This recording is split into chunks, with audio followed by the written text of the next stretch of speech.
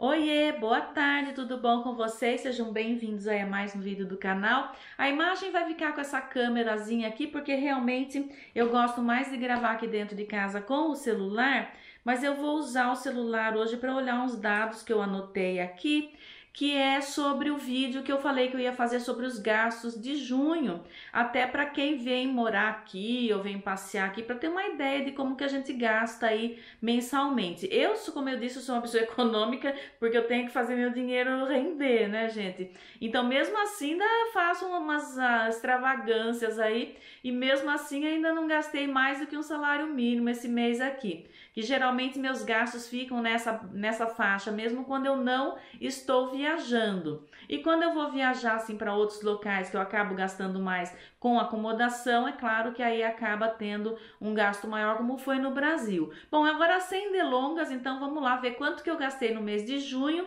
até para quem vem para cá ter uma ideia de quanto que vai gastar, isso para uma pessoa econômica, tá, gente? Vou colocar aqui o meu óculos é, pequenininho, porque senão eu não enxergo tá? Vou colocar ele aqui então e vou pegar aqui no meu celular os dados que eu fiz aí é, do que eu gastei.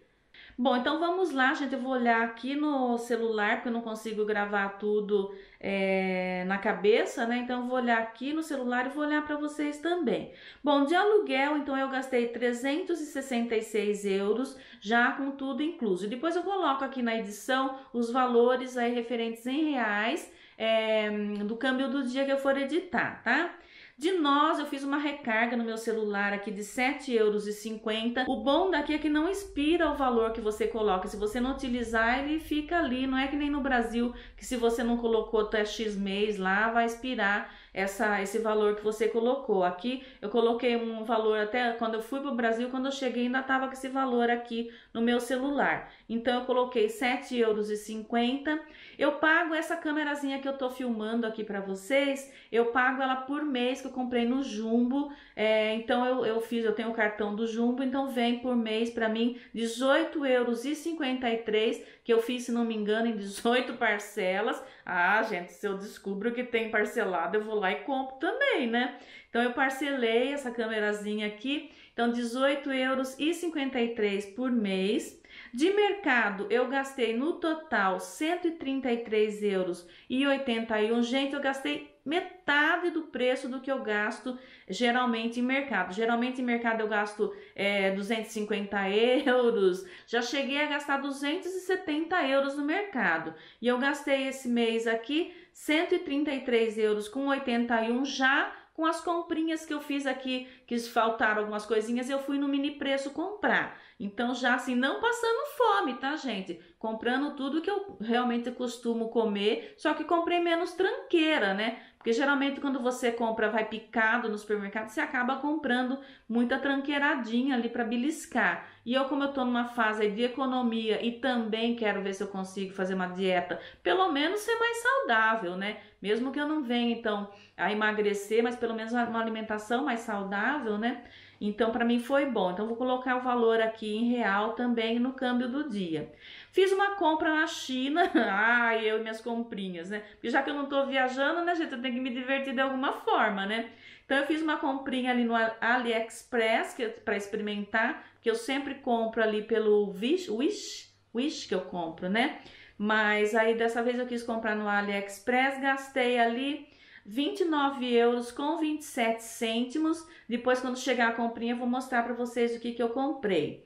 Comprei na Naturitas também, que é aquela, aquele ouro e cobre que eu comprei. Comprei argila. Também já tem o vídeo aqui. Se você não viu ainda, vou deixar o card aqui para você assistir o vídeo de compras que eu fiz lá na Naturitas. Comprei, então, paguei 42 euros com 96 nessa, nessas coisas que eu comprei na Naturitas. Comprei na farmácia também o meu antialérgico que tinha acabado, uma gase, que é aquela gase que não deu certo, né? Gastei 24 euros e 96 cêntimos na farmácia, dando um total no mês para mim de junho, vivendo sozinha aqui sem viajar de forma econômica, 623 euros com 3 cêntimos. Vou deixar aqui para vocês então tudo todo o valor também passado aqui em reais para vocês terem uma ideia aí de quanto com quantos reais que eu vivo aqui em Belmonte. Isso, gente, lembrando que eu vi, moro numa vila, que eu não tenho viajado, né? Que as comprinhas que eu fiz aí foi só para me divertir um pouquinho aqui em casa. Compro muito pouca roupa, uso muito pouco farmácia, né? Então, realmente eu sou uma pessoa que tenho gasto pouco quando eu não estou viajando.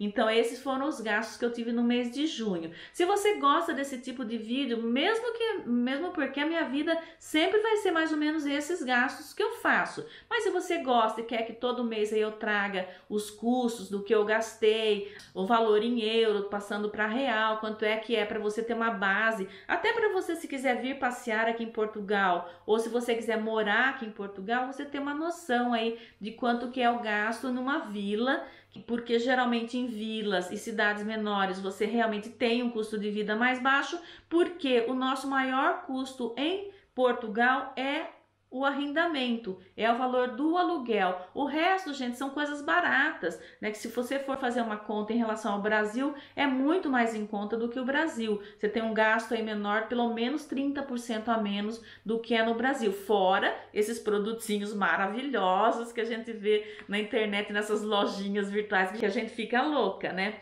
Bom, mas então é isso, gente. Se vocês gostam desse tipo de vídeo, deixa um comentário aqui para mim. Vocês viram que meu canal tá quase chegando nos 9 mil é, eu queria que vocês me ajudassem, você que está assistindo o vídeo, não é inscrito ainda no canal, que se inscrevesse, que deixasse sempre seu comentário para que o YouTube veja que o canal é um canal aí que as pessoas gostam e possa compartilhar com mais pessoas também. Gente, eu deixo um grande abraço, beijinho, fiquem com Deus, até amanhã às 17 horas do Brasil e 21 horas de Portugal. Tchau, gente, até amanhã.